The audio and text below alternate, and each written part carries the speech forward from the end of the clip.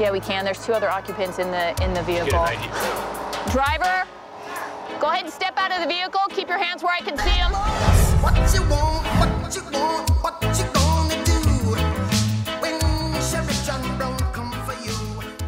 Initially, I made a traffic stop on the vehicle for a traffic infraction on the roadway. We called the driver back to us so that I could talk to her a little bit more about what was going on. Uh, she was really agitated. She was having a difficult time kind of staying in one place. I did not want her at that point to be going back to the uh, vehicle. I felt that there were other things going on that, of course, she wasn't willing to tell us at that point.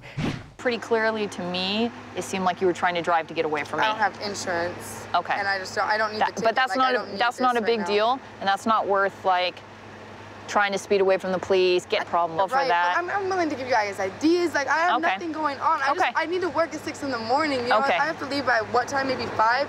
I don't need this right now because. I didn't use a turn signal. Like come on. So I'm I'm talking to the driver at that point, and then I'm notified by the K9 that uh, we had a positive alert on the vehicle. Um, so at that point, one of the deputies uh, stayed with the driver while I went to go do a hands-on search of the vehicle for uh, any possible uh, i- illegal contraband or narcotics at that time. What do you got? Oh, that's meth. Look at that. Out of that, there was some here. So it looks like we possibly have some narcotics. So this little plastic bag here, it's all burned up on the end, but if you look at it, it's got the crystals in there. That's really typical of methamphetamine. Um, in addition, I uh, located a small closed case, and uh, inside that case, what is commonly known as a uh, narcotics kit. So basically, I took those items back, um, and I kind of set them on the ground next to her, and so she knew that I wanted to talk with her about this black backpack. And you know, the long story short is she admits it's her backpack, but then since I have all those positive admissions that this is her stuff, her bag, then I started addressing the other things that were located. And prior, when I was um, talking to her initially, she stated that um, she wanted to smoke a cigarette, and I had asked her all these questions about where are the cigarettes located, who do they belong to. She identified all of the cigarettes as being hers. So then I was able to take that information and talk to her about that and ask her about the narcotics that were found in those cigarette packs. Uh, she was adamant that none of that belonged to her.